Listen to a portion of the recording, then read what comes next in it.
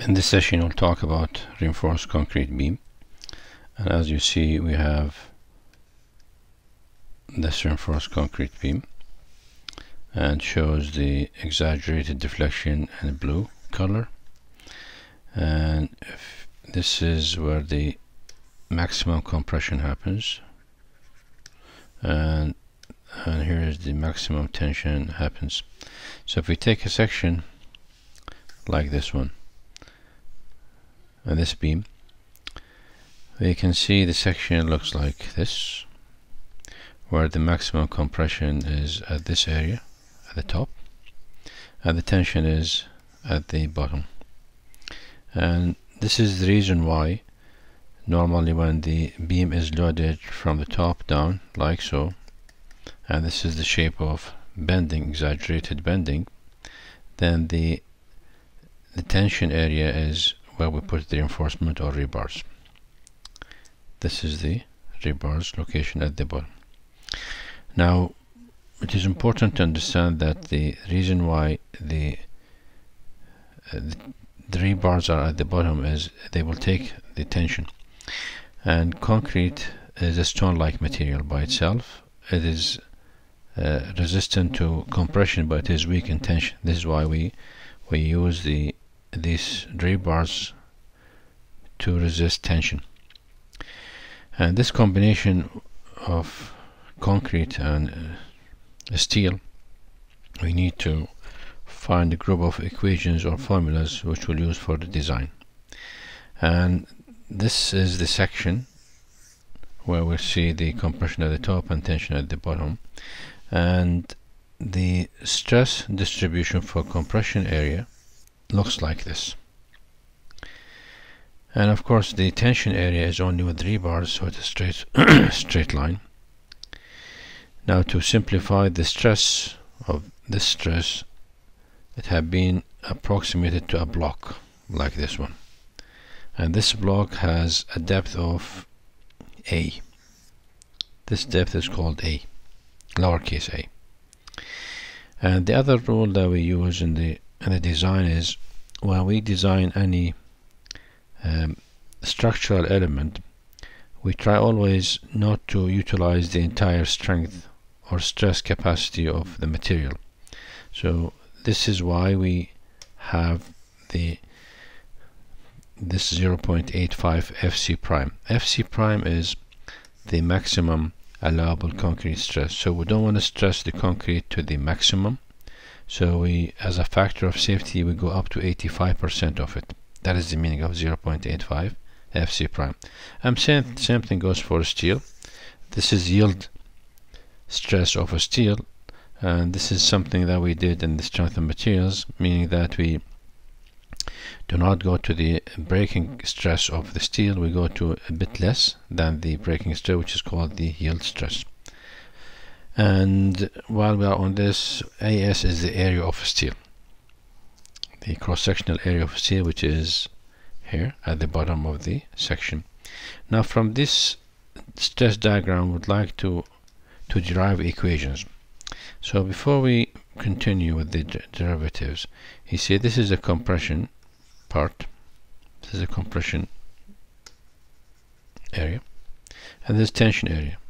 And as we learned from static as far as this beam is not moving anywhere this is a static case of static meaning. Uh, this compression must be equal to this tension to keep to be in place. That is the meaning. And we have this was compression stress and this was compression ten tension stress. We are talking about stress now. And if you remember from previous teaching the definition of stress is equal to force divided by cross-sectional area which means if you would like to get the force force means stress multiplied by cross-sectional area. So just keep that in mind as we go through our derivatives now. So let's start with with the with the compression stress. The compression stress of concrete is equal to the stress, so the compression stress of concrete is equal to 0.85 Fc prime, that's the compression stress, multiplied by the area. Now the area of the block is composed of A and the width B. This is the width B. So we need to multiply it by the area. So it means A lowercase multiplied by B. That is the area part of it. So this is the compression stress. And for tension stress,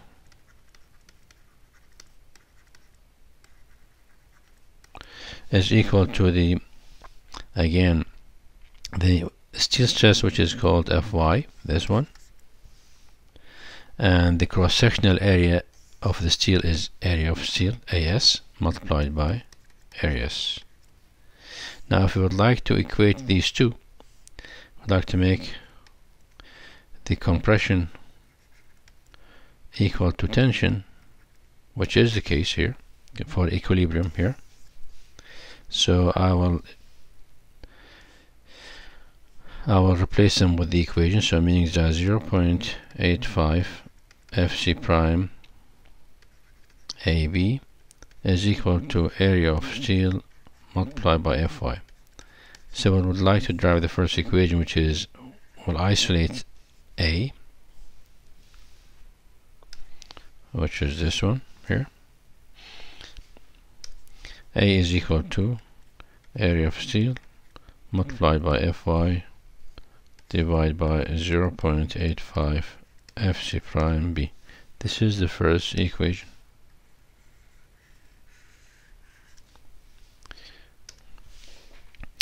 Now the other equation is that as, as you can see in this beam there is load applied here in this direction which is causing it to bend. So this is bending.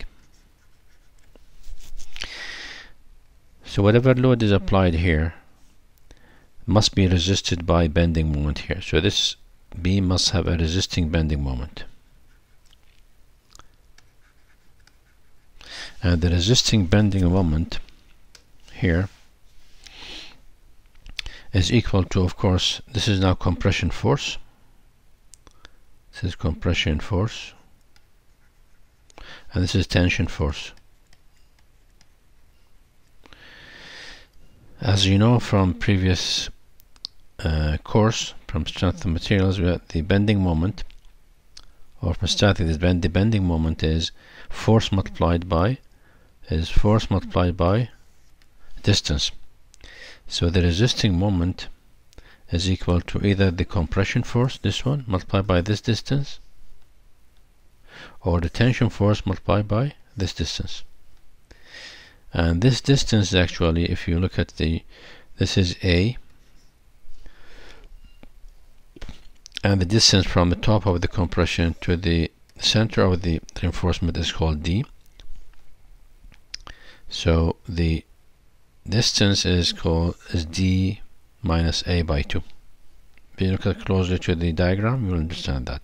So meaning that if I would like to calculate the resisting moment which I will call mr is equal to the tension force multiplied by d minus a by 2 which means the tension is tension force is area of steel Fy and multiplied by d minus a by 2 so meaning mr but now we have in the American building American Concrete Institute there's a factor of safety. So instead of saying this is the capacity assuming the capacity just uh, is equal to 100 kip foot we'll say just for the sake of uh, safety we'll say it is not 100 it is 90 so we reduce it by 10% that will be always the case. So this becomes 0.9 I will say multiplied by area of steel Fy d minus a by 2 that is equation number 2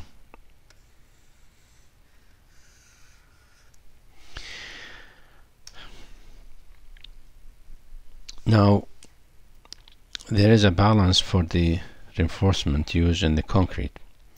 So uh, the concept in the design is that we would like to make sure that we will not have uh, the amount of steel to be too much or too little.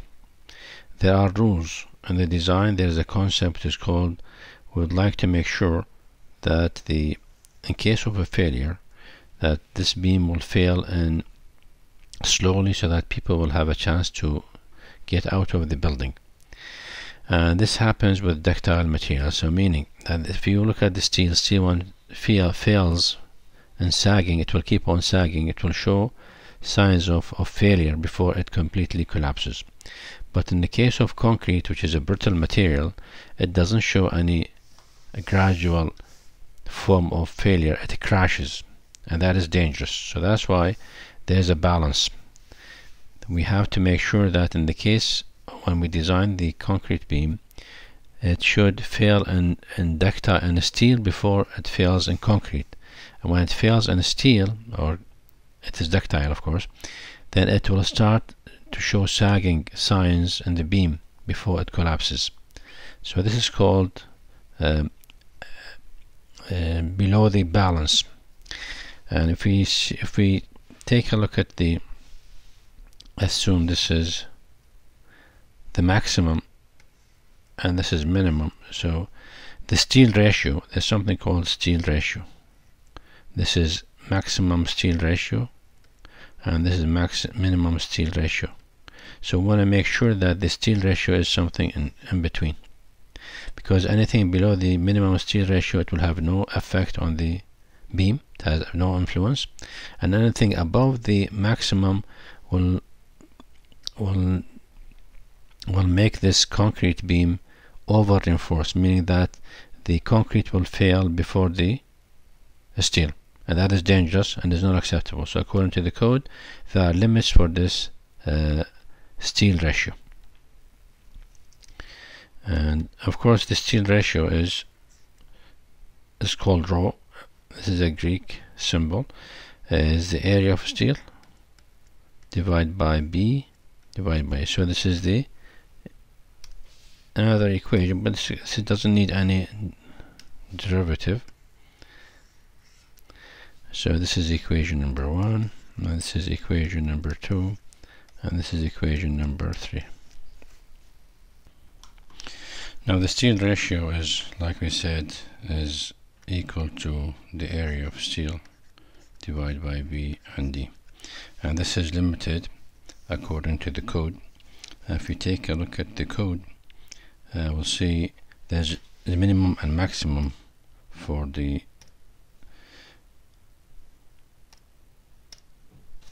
according to these tables, if you look at these tables, you'll be given these tables also so here's the the limits for. It reaches the maximum.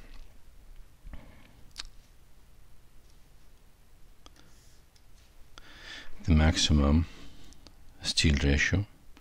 And this is based on the say if we have the concrete strength is 4000 and the steel strength is 60,000 then in that case the ratio is this 0.0207 that is for the maximum. If you do the want to know the minimum this is this table for minimum.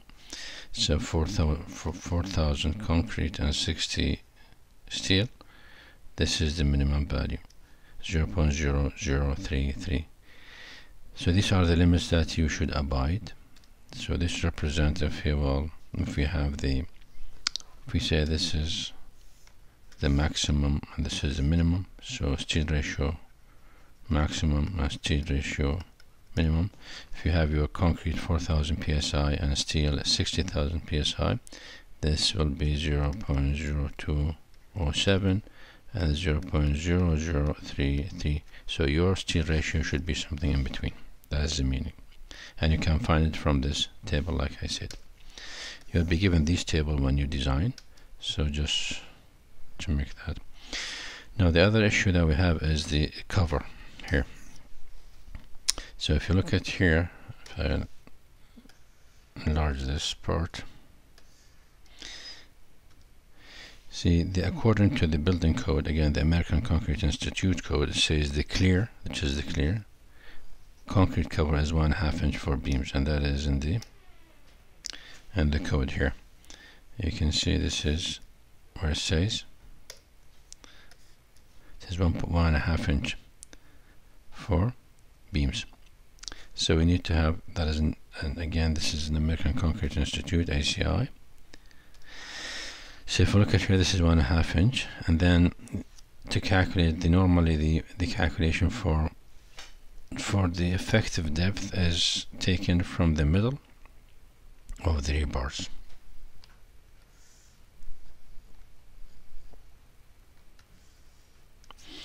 So we need to have this D starts from here up.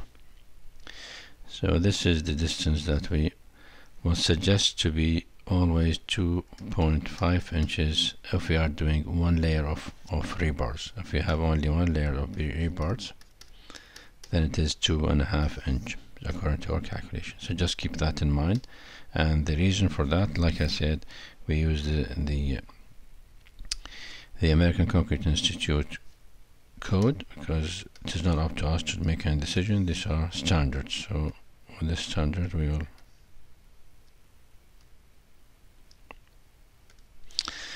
Now having said so, now this is equation number three. Now we will have another equation which is uh, tables based. You don't need to do too much calculation with that one. That is the MU.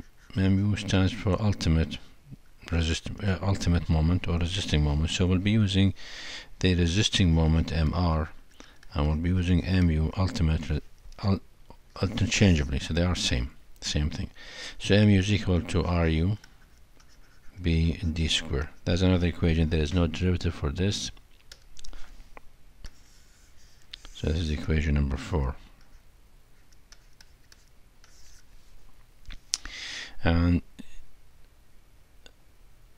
if you will look at, we'll, we'll, we'll see, we'll list all the equations here and make a relationship between them. So we'll have the first equation is, I'll make it in black black is equal to area of steel Fy divided by 0.85 Fc prime B. That's equation number one. Equation number two is Mu is equal to 0.9 area of steel Fy D minus A by 2 and then we have the steel ratio equal to area of steel divided by B and D. And then we have the fourth one which is says mu is equal to RU BD square. Now we'll, we'll just add these are the four equations. But if you are given a chance to decide what the B is equal to if you are given the chance to do B and D both of them then the best combination for them is when when B is is equal half of D so just in case because you are when you design you decide what the B and D are. So we can write an extra equation here in case if you are given a chance to do. And mu equal to ru. B is equal half of d. Multiplied by d square. So this makes mu equal to ru d cube divided by 2 so we can add this just if the if you are given the right to do so. Because sometimes you are not there you might be given certain criteria in which you will not make a decision about D or B. But if you are given the chance to decide B and D you can have this combination and this will help you get mu equal to RU D cube divided by 2 now the other fact that you need to keep in mind once you know the value of steel ratio in the design then you should be able to know the value of RU how come? The tables we have tables in which uh, we there is a list for all. These tables will be our design table. So you look at this table. Uh, you see the value of steel ratio here and the steel value of RU. So if you know the value of RU then you know the value of steel ratio and so on and so on. And of course you have to keep in mind this is for combination of now this is for 3000 concrete psi and steel 40,000 and so on and so forth. So if you are looking for uh, um, for our in our case was for 3000 uh, concrete and 60,000 steel then we have to go to a table of this is 4040 this is 5000 this is 3000 concrete and 60 steel. So you can choose from this one. If you are if you know value of steel ratio you can get the value of RU and so on and so forth. So just to clarify as why I have these stars in here. Um, so once we have all of these equations we'll do a couple examples of design